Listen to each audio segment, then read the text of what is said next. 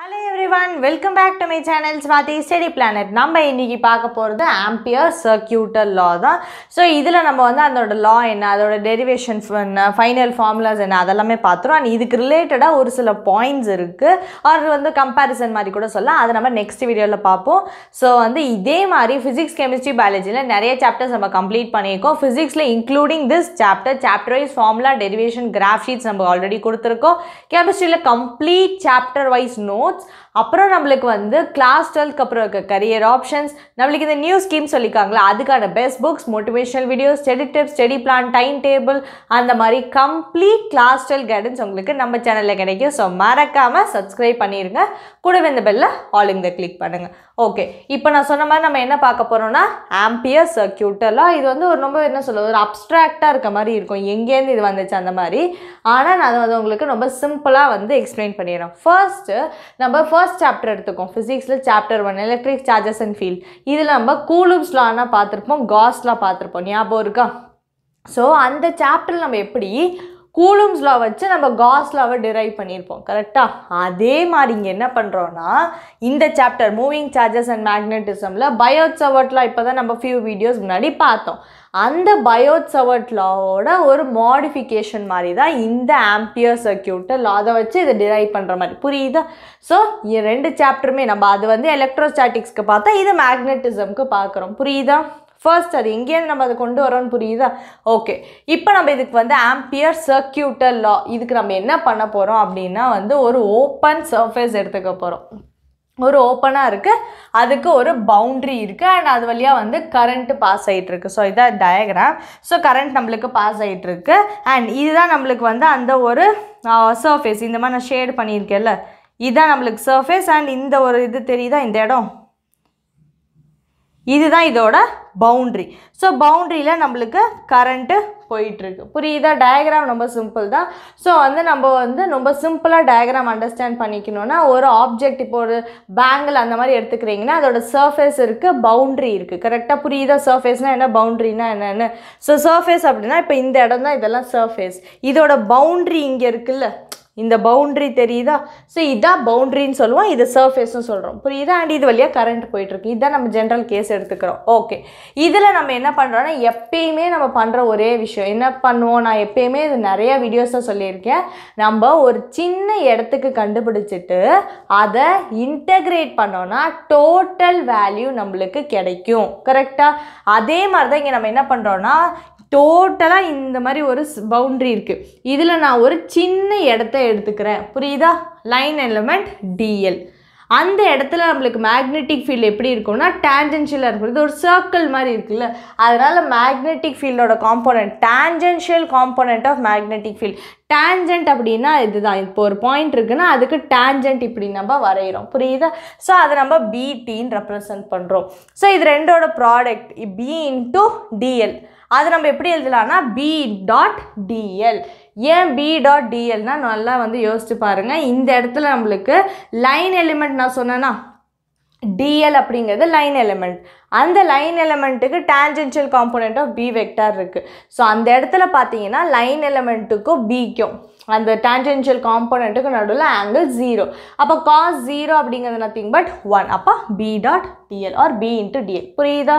Okay இப்போது ampere circuital லானா என்ன அப்படின்னு கேட்டிங்கன்னா line integral of B vector that is nothing but magnetic field so என்ன பண்ணுறோம் லைன் இன்டிகிரல் இன்டிகிரல் ஃபர்ஸ்ட் புரியுதா? Integral of B vector around any closed circuit இது எப்படி இருக்கணும்? க்ளோஸ்டு சர்க்கியூட்டாக இருக்கணும். Okay is equal to mu naught இது உங்களுக்கு தெரியுதான்னு தெரில mu naught times the total current passing through it so என்ன சொல்கிறாங்க இன்டகிரேட் பண்ணுறோம் ஸோ நான் அதை வந்து உங்களுக்கு இன்னும் வந்து கிளியராக எழுதிடுறேன். இன்டகிரல் பண்ணுறோம் அண்ட் நம்மளுக்கு என்ன சொல்லியிருக்காங்கன்னா ஒரு க்ளோஸ்டு சர்க்கியூட் எடுத்திருக்கோம். அதனால நம்ம இந்த சிம்பிள் போடுறோம். ஒரு க்ளோஸ்டு ஏரியாவுக்கு நம்ம இன்டகிரேட் பண்ணுறோம் எதை? பி இன்ட்டு டிஎல் அது எதுக்கு ஈக்குவலாக இருக்குமா?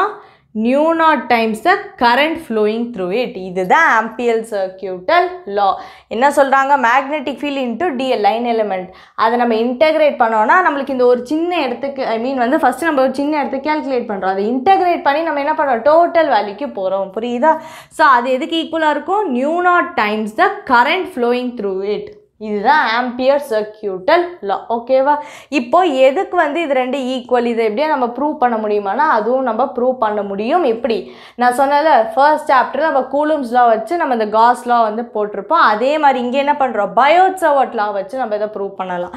ஸோ அந்த ப்ரூஃப் நான் இங்கே எழுதுறேன். ஏன்னா அது நம்மளுக்கு வந்து புக்கில் இல்லை. ஸோ ஜஸ்ட் வந்து உங்களுக்கு எப்படி வந்துச்சுன்னு சொல்கிறதுக்காக ஓகேவா ஸோ இந்த இடத்துல நம்ம என்ன பண்ணுறோம் இன்டகிரல் பிடிஎல் இப்போது லாஸ்ட் வீடியோவில் வந்து நீங்கள் பார்த்துருப்பீங்க. நம்ம இந்த மாதிரி ஒரு சர்க்குலர் லூப் எடுத்துகிட்டு இந்த சர்க்குலர் லூப்போட சென்டர் பாயிண்டில் மேக்னெட்டிக் ஃபீல்டோட வேல்யூ என்னன்னு கண்டுபிடிச்சிருப்போம். ஞாபகம் இருக்கா? அதில் நம்ம என்ன போட்டிருப்போம்?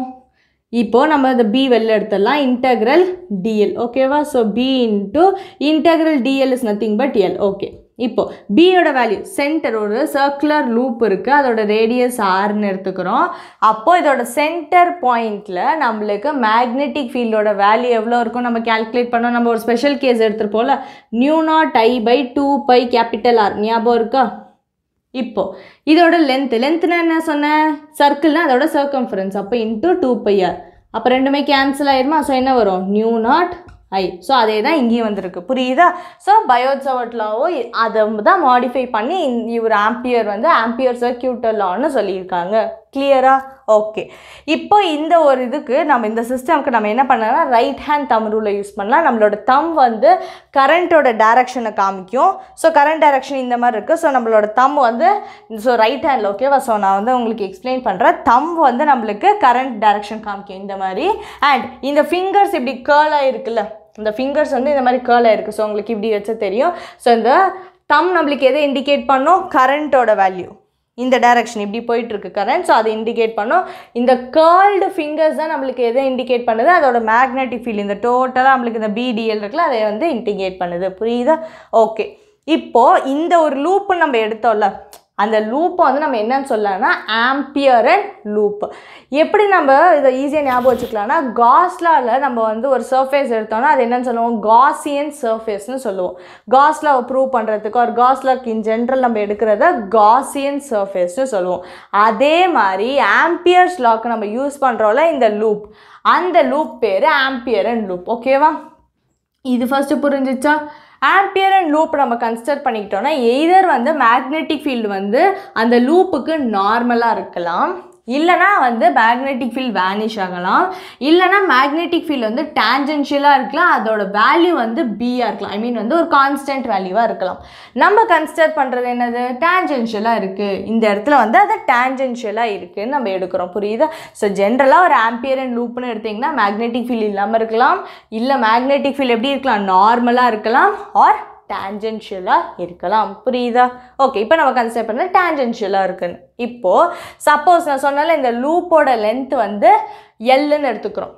இந்த total லூப்போட length L capital B the length of the loop for which B வெட்டா that is nothing but magnetic field is tangential so நம்ம என்ன பண்ணுறோம் மறுபடியும் ஒரு லூப் எடுக்கிறோம். இந்த லூப்போட லென்த்து எல்லு இந்த லூப்புக்கு வந்து நம்மளுக்கு மேக்னெட்டிக் ஃபீல் டேஞ்சென்ஷியலாக இருக்குது அண்ட் இதுக்குள்ளே பாஸ் ஆகிட்டு இருக்க கரண்ட் ஐஇன்னு எடுத்துக்கிறோம். அப்போது நம்ம இந்த ஃபார்முலாவில் சப்ஸ்டியூட் பண்ணலாமா? பி டிஎல் இன்டகிரேட் பண்ணிங்கன்னா என்ன வரும்? பிங்கிறது கான்ஸ்டன்ட் வெளியில் எடுத்துருவீங்க. இன்டெக்ரல் டிஎல் நான் என்ன சொன்னேன்? இப்போ தான் நான் சொன்னேன். இன்டகிரலும் டிஃப்ரென்சேஷனும் கேன்சல் ஆகிட்டு எல்லுன்னு இருக்கும். அந்த எல் தான் எனக்கு கேபிட்டல் லெட்டர்னு எழுதியிருக்கேன். கேபிட்டல் புரியுது? எப்படி வந்துச்சுன்னு? ஸோ ரொம்ப வந்து எங்கடா வந்து இந்த மாதிரிலாம் ஃபார்முலா வந்துச்சுன்னு ரொம்ப கன்ஃபியூஸ் ஆகாதீங்க. ரொம்ப சிம்பிள் தான். இதே சேம் திங் தான் எடுத்திருக்கோம். அதான் நான் இங்கே போட்டிருக்கேன். இங்கே நம்ம என்ன சொன்னோம்? பி டிஎல் இன்டகிரேட் பண்ணோன்னா பி இன்ட்டு எல்லுன்னு வருது. நான் சொன்னேன்னா இப்போ தான் நான் சொன்னேன். அந்த எல் ஸ்மால் லெட்டர் எல் நம்ம இங்கே எடுத்தால் இங்கே கேபிட்டல் லெட்டர் எல் எடுக்கிறோம். புரியுதா? That is equal to mu naught times IE ஐஇனா current enclosed அதுக்காக தான் அந்த ஸ்மால் லெட்டர் இ போடுறோம். புரியுதா? ஸோ ஐ ஹோப் வந்து இது வரைக்கும் உங்களுக்கு கிளியராக இருக்கும் அப்படின்னு வந்து நினைக்கிறேன். இப்போது நெக்ஸ்ட்டு என்ன பண்ணுறோம்னா சேம் கான்செப்டை தான் இன்னும் கொஞ்சம் வந்து எக்ஸ்ட்ராவாக பில்ட் பண்ணுறோம் என்னன்னா if the boundary of the loop is circle நம்ம இந்த லூப் எடுத்துருக்கோம் இது ஓவல் மாதிரி இருக்குது ஜென்ரல் கேசஸில் நம்ம ஒரு சர்க்கிளாக எடுத்துக்கிறோம் அப்படின்னா அண்ட் இதுக்கு வந்து டேஞ்சென்ஷியலாக மேக்னெட்டிக் ஃபீல்டு இருக்குது இது ஒரு சர்க்கிள்னு வச்சுக்கோங்களேன். சர்க்கிளோட லென்த்துங்கிறது என்னது?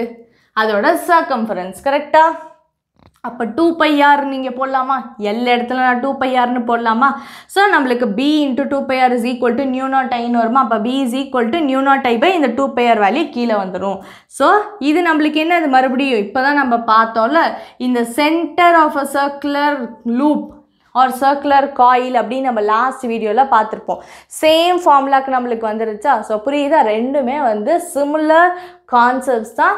இதை நம்ம என்ன பண்ணுறோம் ஒரு க்ளோஸ் சர்க்குலர் லூப் இருக்குது அதோட பவுண்ட்ரி இருக்குது ஸோ அந்த கான்செப்டை நம்ம எக்ஸ்ட்ராவாக பில்ட் பண்ணுறோம் மற்றபடி வந்து பயோசவர்ட் லாவோட ஸ்லைட் மாடிஃபிகேஷன் தான் இந்த ஆம்பியர் சர்க்கியூட்டல் லா கிளியரா ஸோ இப்போ நம்ம ஃபார்முலா வரைக்கும் முடிச்சுட்டோம். நான் சொன்ன மாதிரி இதில் ஒரு சில பாயிண்ட்ஸ் இருக்குது அந்த பாயிண்ட்ஸை நான் வந்து நெக்ஸ்ட் வீடியோவில் வந்து எக்ஸ்பிளைன் பண்ணுறேன் ஸோ ஏன்னா வந்து உங்களுக்கு நிறைய வந்து ஒரே வீடியோவில் சொன்னால் ரொம்ப கன்ஃபியூசிங்காக இருக்கலாம். அதனால் இப்போ இதை தரவாக அண்டர்ஸ்டாண்ட் பண்ணிக்கோங்க. நெக்ஸ்ட் வீடியோவில் பாயிண்ட்ஸ் நம்ம பார்க்கலாம். வீடியோ பிடிச்சிருந்தா லைக் பண்ணுங்கள் உங்கள் ஃப்ரெண்ட்ஸுக்கு ஷேர் பண்ணுங்கள் நான் வந்து அவங்கள நெக்ஸ்ட் இருக்கக்கூடிய வீடியோஸில் பார்க்குறேன். Still then stay tuned by